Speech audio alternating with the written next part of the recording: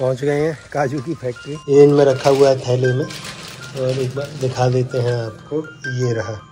तो इससे क्या मतलब तेल निकलता है क्या करते हैं? वो रॉ मटेरियल अच्छा ये रॉ काजू हो गया। अच्छा।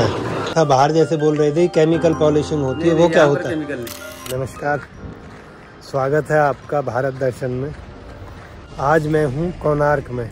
मेरे पीछे बीच है बीच से अभी आ रहा हूँ आगे। तो मैं जा रहा हूँ आज यहाँ पे काजू की फैक्ट्री है। तो ये जो आप पेड़ देख रहे हो, ये मुझे लगता है शायद पाइन के पेड़ हैं, पर मुझे बता रहे थे पीछे लोग कि यहाँ पूरे जंगल हैं बड़े बड़े काजू के जंगल। तो काजू की यहाँ पे खेती होती है तो यहाँ एक काजू की फैक्ट्री है, जहाँ पे उसकी प्रोसेसिंग होती है। वहाँ से कुछ काजू लेंगे हम भी मतलब पाँच किलो, दस किलो, कुछ जो अपनी कैपेसिटी है हमारी, जितना हम खा लेंगे अगले कुछ महीनों में घर पे। तो वही लेने के लिए अभी चलते हैं। बाकी सूर्य मंदिर भी यहीं पे है, वो भी आपको दिखा देंगे। और उसके साथ में बीच भी आपको दिखाएँगे शाम को। तो चलिए, अभी फ़िलहाल तो मुझे ऑटो ऑटो मिला नहीं था तो मैं पैदल निकल लिया। हालाँकि यहाँ से दूर है तीन चार किलोमीटर है। तो किसी को या तो लिफ्ट लेंगे, या देखते हैं ऑटो ऑटो आ जाएगा। तो यहाँ पे क्या है प्रदीप भाई है। तो कल जब मैं यहाँ कोणार्क सूर्य मंदिर से बीच जा रहा था। तो शाम को मैंने लिफ्ट ली थी बाइक पे, उन्हीं के साथ वो रुक गए। उनसे बातें हुई, उन्होंने बताया। रख दो ओके। तो उन्होंने ही बताया कि काजू की फैक्ट्री आप वहीं से लेना। उनको कॉल किया था, वो आने वाले हैं दस पंद्रह मिनट में। तो उस बीच में यहाँ एक ढाबे हैं दो तीन यहाँ रुक गया नाश्ते के लिए। तो कलाकार लोग हैं यहाँ भी। अभी मैंने पूछा था तो इडली बोला साठ रुपये प्लेट, डोसा बोला सौ रुपये वो देख के रेट बढ़ा देते हैं, उनका कोई फिक्स नहीं है। रेट लिस्ट भी नहीं है। जो मर्ज़ी आए, वो बोल देंगे आपको। अब मुझे इसलिए पता है क्योंकि मैंने कल परसों खाई थी इडली तो तीस रुपये में खाई थी। सौ रुपये में तो भाई पूरे यहाँ इलाके में नहीं है डोसा, पचास रुपये में डोसा मिल जाता है। तो इस चीज़ का ज़रूर ध्यान रखें, जब ऐसे इलाकों पे आते हैं, अगर इनकी प्रिंटेड रेट लिस्ट नहीं है रेट लिस्ट नहीं है तो आप कुछ भी बोल सकते हैं। तो उससे थोड़ा बच के रहना है। पहले वाला, जो इसके बगल वाला है, ये तिरुपति। ये तो कलाकार थे महाकलाकार। और जिसमें भी मैंने खाया, ये भी एक मतलब वही है, उसी वेराइटी के। तो मैंने उससे पूछा, कितना बिल? तो वो पहले गया, उसका एक आदमी जिसने मुझे बुलाया था। उससे वो पूछ के आया कि इसको कितना बोला है। तो उसने बोला, उसको यहाँ चालीस लेना है। तो ऐसे बोलने लगा कि क्या मैं हर व्यक्ति के हिसाब से अलग अलग रख लेते हो क्या रेट तो बोला, नहीं नहीं, हम ये करते हैं, वो करते हैं, बढ़ा के घटा कुछ नहीं है, वो कलाकारियाँ हैं इनकी। पता है टूरिस्ट प्लेस है, एक बार आदमी आएगा, जैसा तुमने उससे खींचा ऐसा खींच लो पैसा। नहीं है भाई स्टैंड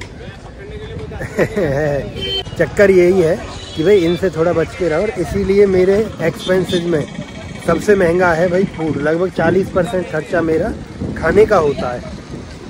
और साथ में भाई प्रदीप भाई का फ़ोन आ गया उनसे पूछते हैं। हेलो हाँ सर मैं ये बस स्टैंड वाला जो चौक है ना मंदिर के सामने तिरुपति ढाबा ये इस साइड में।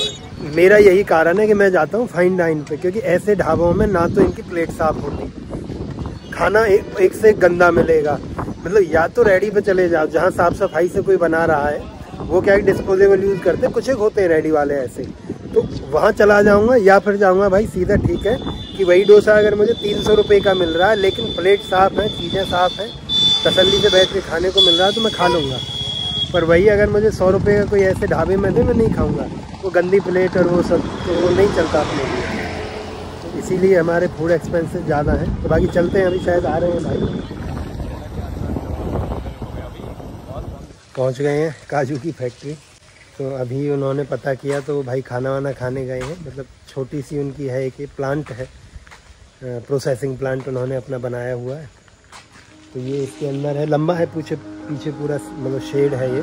दिखाएँगे आपको अभी जैसे ही वो आपको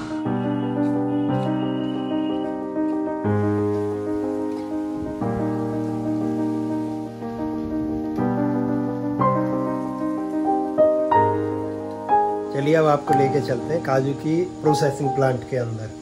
तो होता कैसे? हालाँकि अभी मशीन चल नहीं रही है। तो लेकिन फिर भी आपको दिखा देंगे। तो ये तो हो गए। अच्छा प्रदीप भाई ये रहे।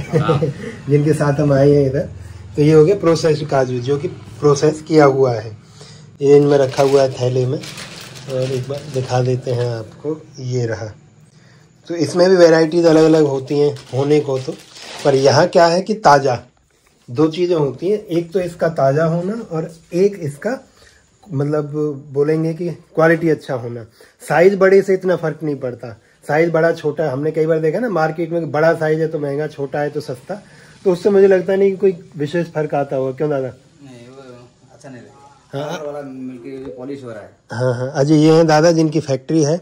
और अब यही हमें बताएँगे कि एक बार आप बता दो हमको कि कैसे शुरू होता है प्रोसेस कैसे होता है। देखिए वो है हमारा रॉ मटेरियल है। अच्छा। वो सब रॉ मटेरियल है।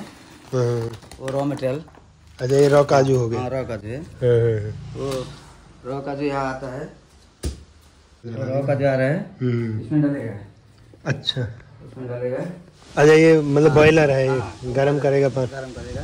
पानी यहाँ पे गर्म करके राइट राइट उसका गैस।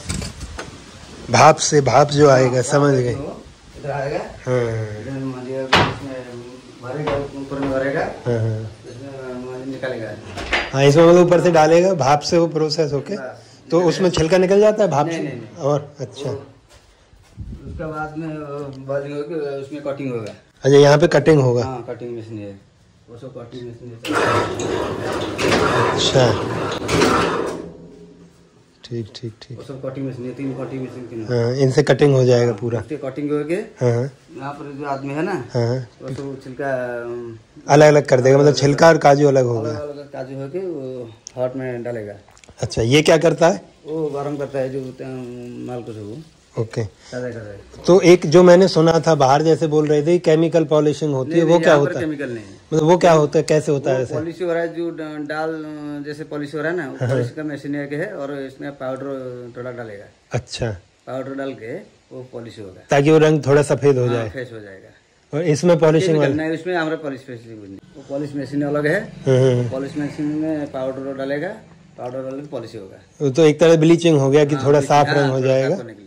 ठीक है ठीक कोई पॉलिश का मालूम हो नहीं। उनका बाद में वो गर्म हो गए तब ठंडा करने का मशीन है। तो भाई मतलब ये लगभग प्रोसेस है कि कच्चा काजू आता है बाद में उसको बॉयलर से मतलब शायद नरम करते हैं फिर वो कटता है यहाँ पे।